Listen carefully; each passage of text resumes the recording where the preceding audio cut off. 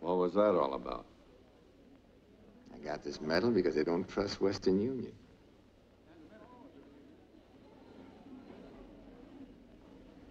They want me to deliver a message. Listen, Mike, do you think the United States will ever recognize the U state when and if it's declared? What the hell for? What's in it for us but trouble? Your friends may have the Bible in their favor, but the Arabs have the oil. You think our State Department's gonna hesitate choosing up sides? I guess you're right. They're already putting the pressure on your pals to postpone independence. It's a few years, a few centuries to those people.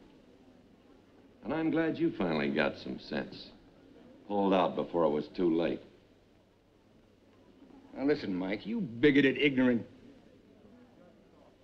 I'll try to get through to you, but I don't think I can because you haven't the vaguest idea of what the stakes are over there. Now, here's a country surrounded by five Arab nations ready to shove them into the Mediterranean. No guns, no tanks, no friends, nothing. People fighting with their bare hands for a little piece of desert. Because it's the last place on this whole earth that they can go to and try to live And in... why did you come back? Wouldn't they let you play captain? You know me too damn well. You don't know me at all. You don't give any of the rest of us credit for being human beings. I saw Dachau, too, remember?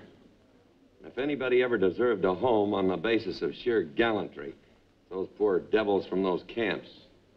And you have friends, too, Mickey, although it'll probably upset you to find it out. And they'll ring every doorbell in Washington from the White House down, if it'll help. And I'll raise such a stink, they'll go in and out of the State Department with gas masks. But what about you? Are you too big to go back and help your own people unless they bow down and kiss your West Point ring? Um, oh, Mike, get off my back. Oh, what happened to that insubordinate SOB that jumped out of one of my planes over Normandy? Won the Distinguished Service Medal. Are you proud of that medal and ashamed you might win the Star of David? Stand up and be counted, Mickey. There's a lot of us will stand up with you. L'chaim. Maybe you ought to stay off our side, Mike. Nobody will ever believe it. Chaim.